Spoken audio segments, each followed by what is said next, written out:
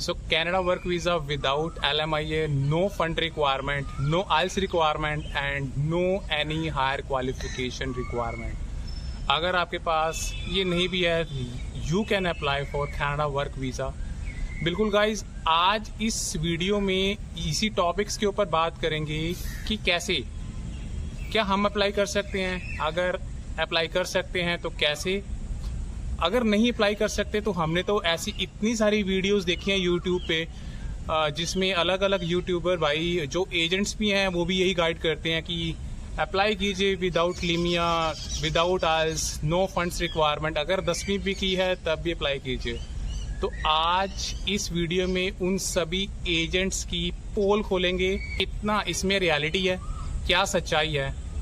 Video को अंत तक देखना चैनल को like subscribe and bell icon को दोबारा मत भूलना। मेरे लेटेस्ट व्लॉग एंड वीडियोस के लिए। सो so गाइस करते हैं स्टार्ट सो so, कनाडा की जो फेडरल गवर्नमेंट है उन्होंने एक प्रोग्राम को लॉन्च किया था जिसका नाम है आईएमपी इंटरनेशनल मोबिलिटी प्रोग्राम बहुत सारे एजेंट्स ने इस प्रोग्राम की जो एक्चुअल रियलिटी है वो ना बताते हुए कुछ और ही रियलिटी आपके सामने पेश की है। ठीक है और आप उसी को ही बिल्कुल सच समझ बैठे हैं। ठीक है क्या है वो सच्चाई? सो so, आज हम इस वीडियो में जानेंगे कि आईएमपी क्या है। What exact meaning of IMP उसके बाद फेडरल गवर्नमेंट ने ये प्रोग्राम को लॉन्च क्यों किया? Uh, क्या ऑब्जेक्टिव्स हैं इसके? After that best point of IMP अगर आपने अगर आप कनाडा का वर्क वीज़ा इस प्रोग्राम के थ्रू अप्लाई भी करते हैं तो क्या रीज़न है इस कि आप इसी प्रोग्राम को चूज़ करें? उसके बाद क्या बेनिफिट्स हैं? कौन कौन इस प्रोग्राम के through Canada work visa apply कर सकता है। आफ्टर दैट ये कैसे काम कर सकता है? उसके बाद हम बात करेंगे कितना खर्चा आता है। अगर हम इस प्रोग्राम के थ्रू कनाडा का वर्क वीज़ा अप्लाई करते हैं, और लास्ट में सबसे इंपॉर्टेंट चीज़, जितने भी मेरे इंडियन भाई हैं, पाकिस्तान से हैं, अफ़गानिस्तान से, नेपाल, भूटान फिलीपींस या दुबई, किसी भी कंट्री से हैं, अगर वो अप्लाई करते हैं, क्या वो अप्लाई कर सकते हैं? अगर अप्लाई कर सकते हैं तो उनके लिए क्या तरीका है? सो so, आई एक ऐसा प्रोग्राम है जो कैनेडियन एम्प्लॉयर्स को अलाउ करता है कि आप फॉरन स्किल्ड जो वर्कर हैं आप उन्हें कॉल करें आप उन्हें कनाडा में हायर करें without any L M I A issuing the job offer it doesn't means कि वो कैंडिडेट जो वो एप्लीकेंट है वो सारे कनाडा में ही होने चाहिए। इवन वर्ल्ड के किसी भी देश में हैं, अगर वो स्किल्ड वर्कर हैं तो आप उन्हें कॉल कर सकते हैं। आईएमपी प्रोग्राम ये कहता है फेडरल गवर्नमेंट ने इस प्रोग्राम को लॉन्च क्यों किया? तो बेसिक उनका पर्पस था कि मैक्सिमम से मैक्सिमम स्किल्ड जो वर्कर हैं, उनको कनाडा में कॉल किया जाए। ठीक है? जो यहाँ पर एम्प्लॉयमेंट है वो जनरेट कर सकें। जो यहाँ पर एम्प्लॉयर की, जो यहाँ पर एम्प्लॉयर को एम्प्लॉयज़ की ज़रूरत है स्किल्ड एम्प्लॉयज़ की, उनकी टेंडेंसी को फुलफिल किया जा सके। और सबसे इंपॉर्टेंट चीज़ आईएमपी प्रोग्राम में फेडरल गवर्नमेंट का ही रोल है। इसमें ना तो कोई ईएसडीसी e डिपार्टमेंट का रोल है कि हमें लीमिया इशू करना पड़ेगा। पैंतालीस से साठ दिन लगेंगे हमें एलएमआईए को इशू करवाने के लिए। उसके बाद जाके हमें एलएमआई मिलेगा और हम प्रोसेसिंग स्टार्ट करेंगे। गाइस बिल्कुल भी नहीं। इसमें ना तो ई e डिपार्टमेंट का कोई रोल है, ना ही कोई प्रोविंशियल गवर्नमेंट का। ठीक है? डायरेक्टली आईआरसीसी इसे रेगुलेट करता है। ये प्रोसेस बहुत इजी है, बहुत सिंपल है लेस टाइम कंज्यूमेबल है मनी सेविंग है। और सबसे इंपॉर्टेंट चीज़ कि अगर आप आईएमपी के थ्रू कनाडा का वर्क वीज़ा अप्लाई करते हैं तो हार्डली टू वीक्स का टाइम लगता है इसमें। रादर देन कि अगर आप किसी एल के थ्रू अप्लाई करते हैं I programme is LMIA exempt so इसमें आपको सिर्फ़ जॉब ऑफ़र चाहिए, अगर आपके पास जॉब ऑफ़र है, जो can put your application to I R C C portal for Canada work visa application now कौन कौन अप्लाई कर सकते हैं? कई सबसे पहला कैटेगरी में आते हैं, वो स्टूडेंट्स जो कनाडा में D L I approved college या यूनिवर्सिटी में पढ़ रहे हैं। जैसे ही वो अपनी स्टडी कंप्लीट करते हैं, उनके पास post study work permit rights होते हैं। सो वो आईएमपी के थ्रू अप्लाई करके अपना वर्क वीज़ा जो है वो ले सकते हैं। ये रही पहला कैटेगरी ना दूसरी कैटेगरी में बात करते हैं कनाडा के कुछ कंट्रीज़ के साथ एग्रीमेंट्स चलते हैं। लाइक जो भी कनाडा की बॉर्डर कंट्रीज़ हैं like USA and Mexico so USA and Mexico के कनाडा के साथ बहुत अच्छे रिलेशन है। ट्रेड या व्यापार कह सकते हैं बहुत अच्छा चल रहा है ठीक है। Uh, जो एक दूसरे की इकॉनमी को डेवलप करते हैं।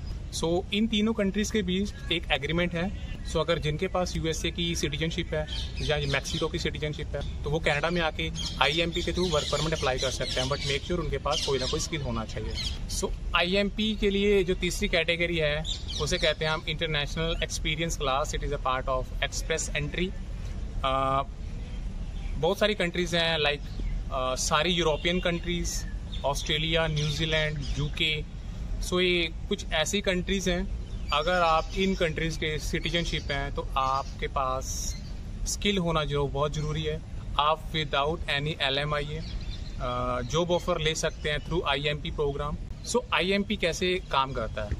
सबसे पहले आप जिस भी एम्प्लॉयर के थ्रू जॉब ऑफ़र अप्लाई करते हैं, उसका I R C C portal में अकाउंट होना चाहिए।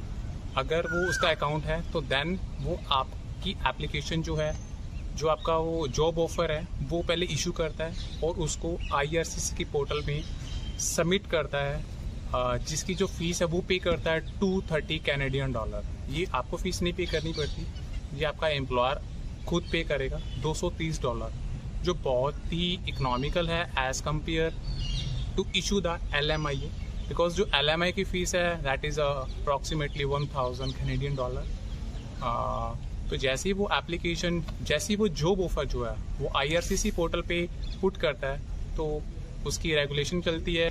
जब अप्रूवल हो जाती है तो वो जॉब ऑफ़र के साथ आपको सेवन डिजिट का एम्प्लॉयमेंट नंबर इशू करती है। गाइज़ याद रखना, अगर आपकी एप्लीकेशन अप्रूवल हो जाती है, अगर आपकी एप्लीकेशन अप्रूव हो जाती है तो जो आईआरसीसी है, वो आपके जॉब ऑफ़र के साथ सेवन डिजिट का एम्प्लॉयमेंट नंबर इशू करती है, जो कि आपका एम्प्लॉयर जॉब ऑफ़र प्लस वो एम्प्लॉयमेंट जो नंबर है, वो आपको देता है।